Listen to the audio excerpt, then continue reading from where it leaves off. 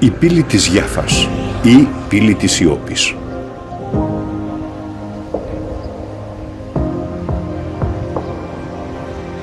Η πύλη της Γιάφας είναι δυτική πύλη, μία από τις επτά κύριες ανοιχτές πύλες της Ιερουσαλήμ. Η παλαιά πύλη έχει το σχήμα μεσαιωνικού πύργου πύλης, η οποία ασφαλιζόταν στα δύο άκρα βόρεια και ανατολικά με βαριές θύρες. Το ρήγμα στο τείχος δημιουργήθηκε το 1898 από τις Οθωμανικές αρχές για να επιτρέψουν στον Γερμανό Αυτοκράτορα Γουλιέλμο δεύτερο να εισέλθει θριαμβευτικά στην πόλη της Ιερουσαλήμ. Τόσο η πύλη της Γιάφα όσο και η οδός της Γιάφα έχουν το όνομά τους από το λιμάνι της Ιώπης, από το οποίο ο προφήτης Ιωνάς ξεκίνησε το θαλάσσιο ταξίδι του και οι προσκυνητές αποβιβάζονται από το ταξίδι τους στην Ιερά Πόλη.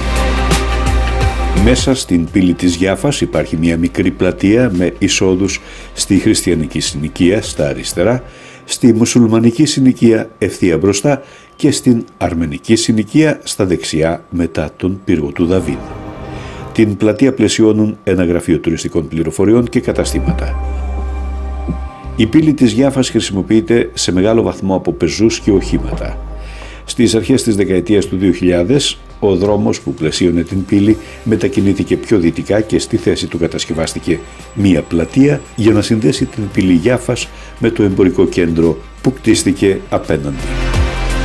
Το 2010 η Εφορία Αρχαιοτήτων του Ισραήλ ολοκλήρωσε μια δίμηνη αποκατάσταση και καθαρισμό της πύλης της Γιάφας ως μέρος ενός έργου 4 εκατομμυρίων δολαρίων που ξεκίνησε το 2007 για την ανακαίνιση των τυχών της παλαιάς πόλης της Ιερουσαλήμ.